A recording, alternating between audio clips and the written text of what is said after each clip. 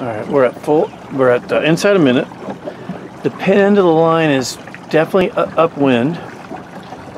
There's pressure, I think, everywhere on the race course. A little more in the middle right.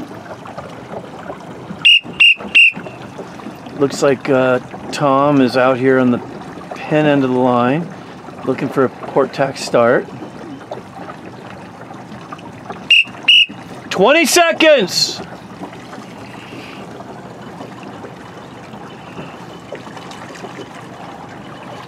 The wind has moved big time left.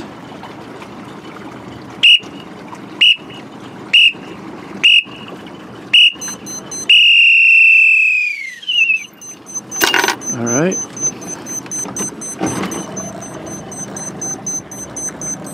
Sean kind of ruined Tom's uh, parade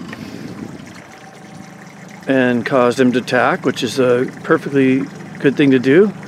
Now Sean is uh, winning the drag race. But even if he weren't, Tom wouldn't be able to tack because Sean's got him pinned. But now Sean's rolling him. It's only going to get worse for Tom, but that's okay. He's in second.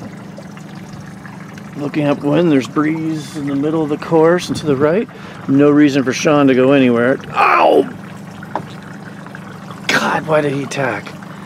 So now he's tacking into a header. It's a bad tack.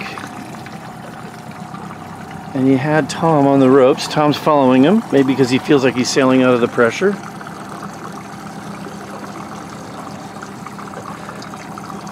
The good news is Sean's sailing into the darker water, and that's fine. I would have been very reluctant to tack until Tom tacked back there, but that's okay. Sean's definitely moving again. That was a rough tack, Sean, but he is moving again nicely. He's in ripply water. Mm, Tom is also in ripply water.